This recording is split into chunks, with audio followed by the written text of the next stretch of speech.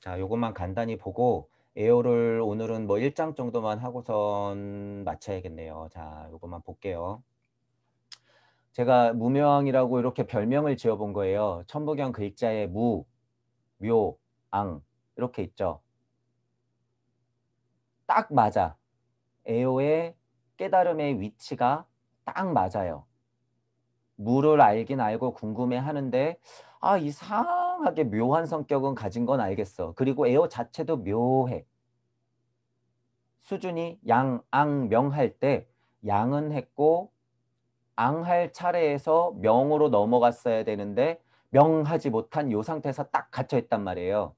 위치를 보면 어디예요? 무주.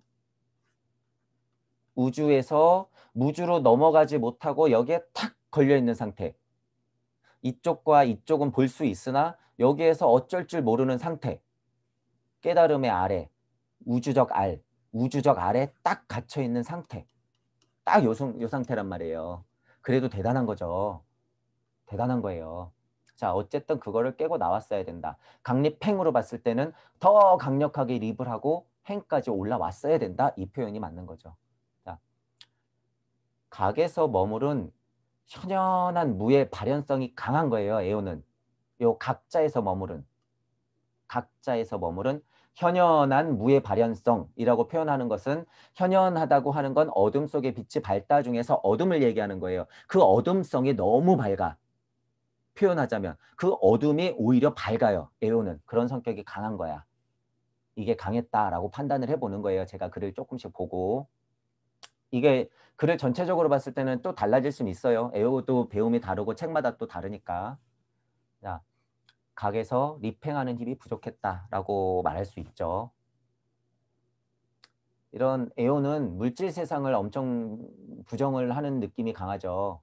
깨달음조차도 없어야 된다. 무, 물을 탐구하는 탐구, 탐구 존재 말 자체도 없어야 된다. 뭐 힘이란 것조차 부정하는 뭐 이런 거, 이런 말들을 곳곳에서 해요. 곳곳에서. 자, 그러면 그건 뭐예요? 그가 아직 리팽 하겠다는 목표 설정이 약해요. 현실 세계에서의 용기가 없음이 드러난 거예요. 현실 세계에서의 용기 없음. 이게 드러난 거죠. 이게 딱 드러난 상황이에요. 에오는.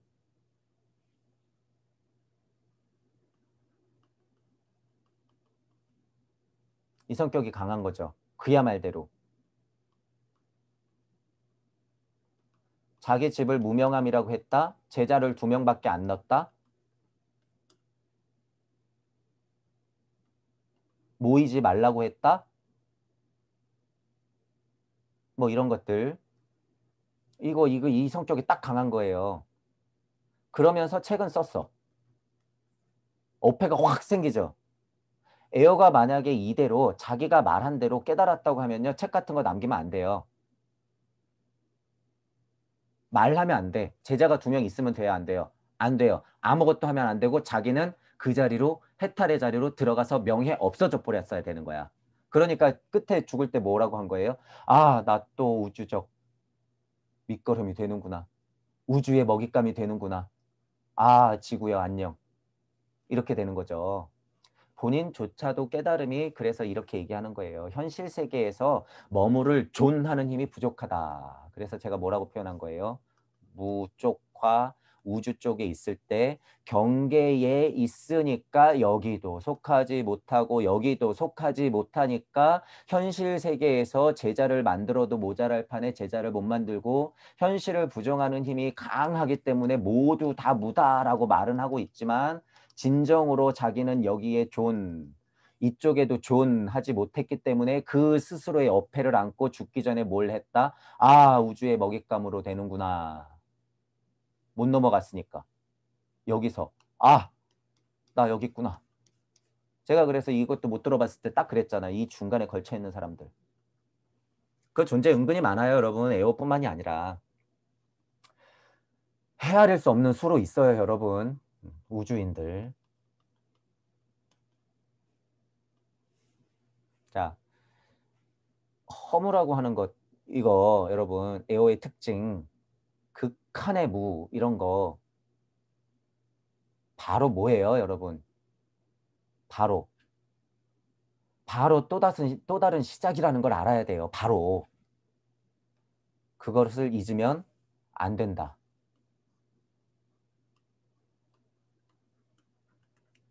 천부경파는 돌아간다. 윤회는 한다. 이 사실조차도 오해하고 있죠. 에오는. 해탈해서 자 여기서 여러분 해탈해서 나가버린다. 딱 해서 여기 나왔어요. 여러분. 윤회 안 할 것 같으세요? 나오고 보니까 여기도 천부경판이 있네. 어 여기서 아 맞아. 요번 판은 내가 우주세상이었나 보지. 해탈해서 탁 나갔어. 여러분 또 뭐가 돼? 어 여기도 천부경판이 있네. 허무와 극한의 무라고 아무리 생각해봤자 뭐라는 거예요? 또 바로 시작이에요, 여러분. 또 다른 시작이다. 이거 알아야 돼요, 여러분. 그래서 천부경파는 돈다라고 제가 얘기하는 거고 여러분이 그렇게 돈다라고 그러는 걸 어떻게 해야 되는 거예요? 철저히 씹어 삼켜야 된다. 뭐조차도 허무와 극한의 무조차도 씹어 삼키자. 그런 마음이 있는 사람들은 지구별에서의 고통은 어, 어때요? 이 정도의 마음이 있는 사람들은요. 지구별의 고통은 하찮아요. 하찮아. 여러분이 이렇게까지 돼야 되는 거죠. 왜? 그들은 순전히 돈과 권력과 과학의 힘으로 이미 여기까지 올라왔으니까. 그들이 우리 생명을 100년, 200년, 300년 선택해서 줄 수 있으니까 여러분들은 결혼해서 진짜 동물적으로 아이를 낳아 기르는 마지막 세대가 될 수도 있으니까. 그래서 제가 조바심이 난다고 하는 거예요. 여러분 이제 애기도 마음껏 못 나요.